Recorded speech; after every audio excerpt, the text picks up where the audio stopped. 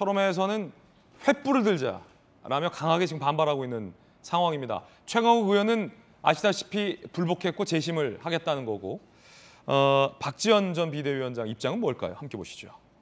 최강욱 강하게 징계해야 된다라고 했던 박지원 전 비대위원장. 민주당이 진실을 외면하고 광기 어린 팬덤의 포로가 돼 깊은 수렁에 빠져들고 있다. 굉장히 강도 높은 비판의 연속이죠. 폭력적 팬덤, 철험회의 어, 좌표 부대. 아예 그냥 딱딱 박지원 전 비대위원장은 이게 문제다, 이게 문제다 주장을 합니다. 폭력적 팬덤, 좌표 찍고 우르르 폭탄 던진 좌표 부대, 철험회 의원들, 최강욱 의원이 한없이 부끄럽다. 강도 높은 비판을 했는데 김수영 교수님, 박지원 전 비대위원장이 짤짤이 의혹에 대해서 최 의원을 징계해야 된다라고 선거 전부터 계속 얘기했는데 결국 안 받아들여졌잖아요. 그렇죠. 그래서 당초 박지원 비대위원장을 비대위원장 자리에 앉힐 때 얼마나 이 사람의 의견에 힘을 실어줄 거냐라는 것에 대해서 많은 회의적인 시선이 있었는데 민주당이 어, 박지원 위원장의 그러한 이야기, 징계를 해야 된다, 당장.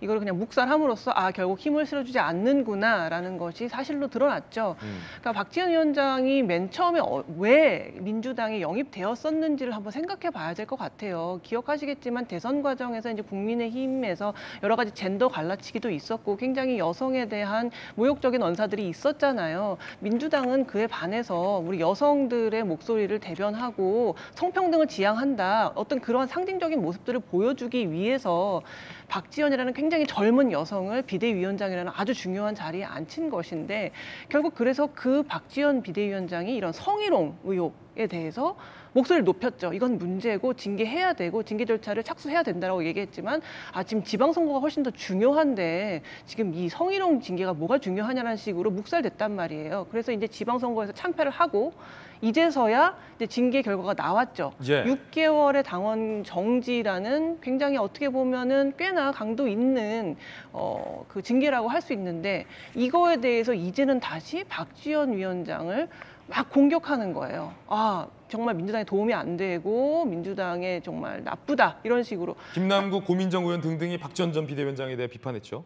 그렇죠. 그러니까 뭐 팬덤 정치에 의존하고 있다고 오히려 역공을 했죠. 김남국 의원 같은 경우에는 본인이 사실 어떻게 보면 지금 팬덤에 굉장히 기댄 주장들을 하고 있는 것으로 저는 보고 있는데 박지원 위원장이 오히려 편됨을 기대고 있다라는 식으로 이제 굉장히 공격을 했는데 이렇게 되면 민주당이 당초에 지향했던 가치, 성평등, 성희롱 같은 것들을 굉장히 어, 강하게 제재하고 성평등 이루겠다 그런 목적에서 박지원 위원장을 영입했던 이러한 취지는 온데간데 없고 어, 최강욱 의원을 이렇게 비판하고 철험회를 비판하는 것 자체가 민주당의 해가 된다는 식으로 막 박지원 위원장을 공격하는 거예요. 이것은 결국 민주당이 왜 박지원을 영입했나? 결국 이미지만 소비하려고 영입했던 거 아니냐? 사실 실제로 관행을 보면 성평등하고는 아예 거리가 멀고 성희롱 같은 것들에 대해서도 이런 식으로 반응을 하고 있는데 민주당이 지향했던 그런 성평등의 가치는 그냥 이미지 소비일 뿐이었다라는 비판에서 자유로울 수 없다고 저는 생각이 듭니다. 예. 철험회 의원과 철험회의 좌표 부대 최강욱 의원이 모두 부끄럽다. 박지원 전 비대위원장은 이렇게 강하게 비판했는데 그 철험회 김남국 의원은 연일 박지원 전 비대위원장을 비판했습니다. 팬덤에 취해서 막춤을 추고 있는 게 오히려 박지원이다. 김남국 의원의 이 같은 주장인데 이거 어떤 뜻일까요? 팬덤에 취한 건 오히려 박지원 비대위원장이 아닌가 생각이 드는데요. 어. 본인은 본인 팬덤에 취해가지고 막 춤추면서 남한테는 팬덤에 취하지 말라라고 하는 것은 조금 굉장히 모순적인 주장이 아닌가라는 생각이 듭니다. 이준석 당대표보다 훨씬 더 발언이 굉장히 좀 아집에 갇혀 있는 그런 모습이어서 안타깝다라는 생각이 듭니다. 과연 팬덤에 취해서 막춤을 추는 쪽이 어디인가? 라는 의문이 드는 대목입니다.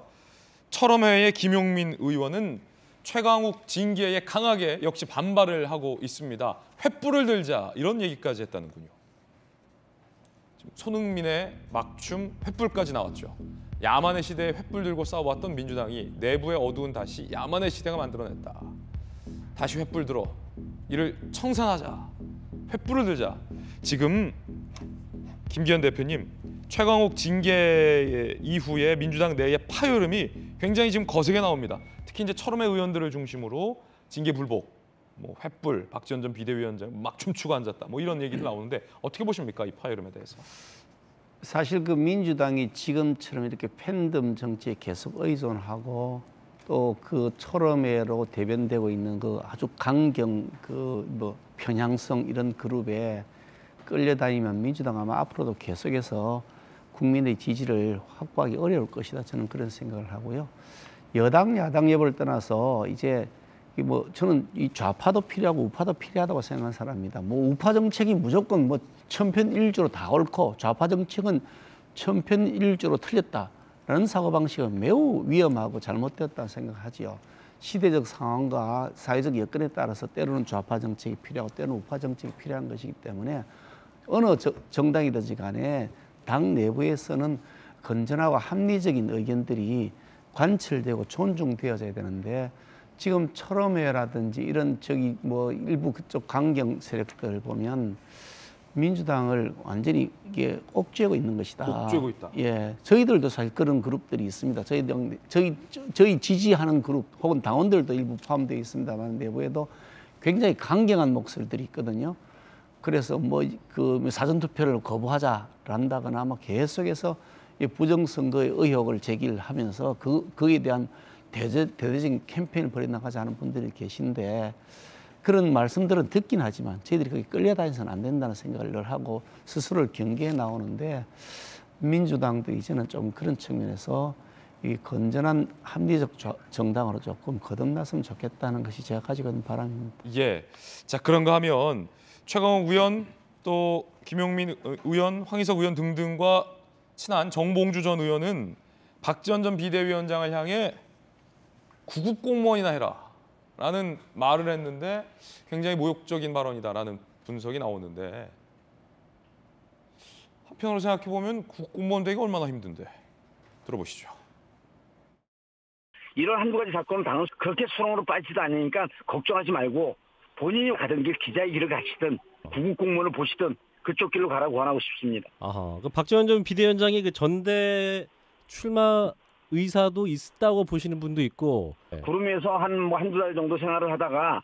벼랑간 바닥으로 내려와갖고 살게 되면 좀 어지럼증이 있을 거예요. 그래서 괜히 떨어지는 그런 수모나 창피당하지 말고 아. 다시 바닥서부터 이 정치 경험을 쌓으라고 정치 선배로서 권하고 싶습니다. 박지원이라고 하는 분이 시작서부터 오염되어 있다. 정치를 초반부터 잘못 배웠다. 정치 선배로서의 조언이다라고 정봉주 전 의원이 혹독하게 얘기를 했는데 그래도 아무리 그래도 비대위원장이었는데 구급 공무원을 하든지 글쎄 구급 공무원 되기 얼마나 힘든데 적절하다 보세요? 이게 지금 국민들께서 보실 때 국민의힘과 민주당의 지금 차이를 정확하게 보여주는 겁니다. 지금 물론 뭐 그 성상납 의혹 등등 때문에 상당히 코너에 몰려 있긴 합니다만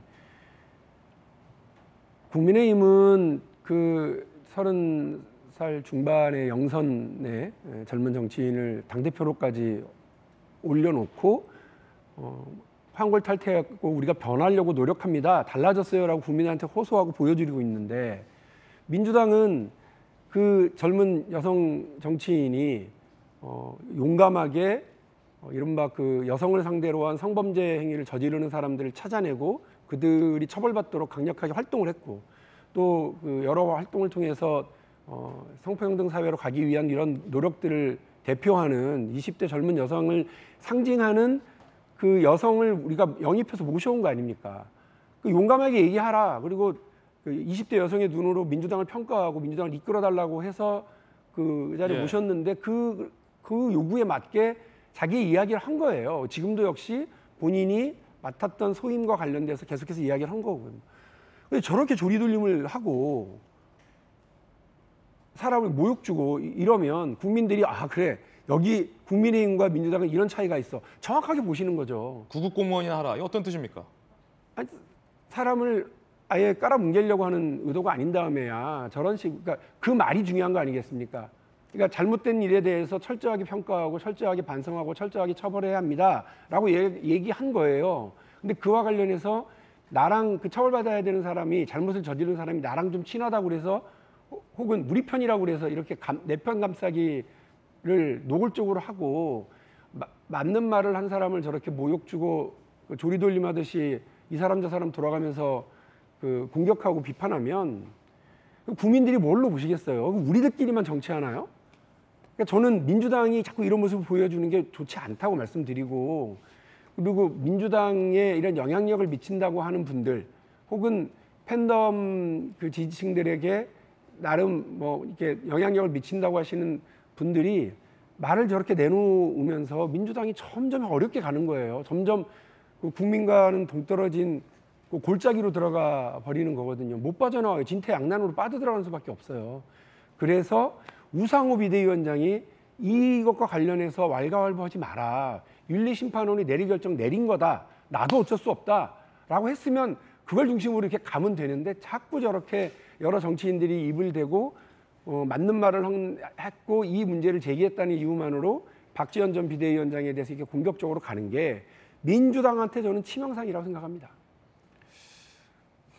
일각에서는 정봉주 의원이 구급 공무원의 길을 가든지 기자나 하든지라고 해서 정치 선배가 길을 제안해 준 거다라고 해석하는 분도 있던데 어떤 게 정확한 겁니까? 그 의미가 구급 공무원의 길도 있으니까 이걸 하라라고 조언한 겁니까? 아니면 말은 그렇게 안 했으나 구급 공무원이나 하던가라고 표말을 한 겁니까? 의도가 뭡니까?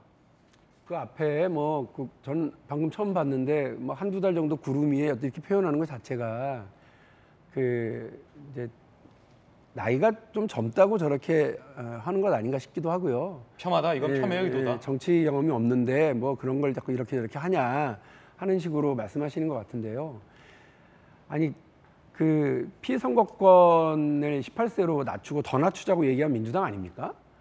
아니 나이 어린 사람들한테 저렇게 대하실 거면 뭐 하려고 그걸 낮춰요? 아이 뭐40 넘기기 전에는 국회의원도 출마하지 못하도록 막아야죠.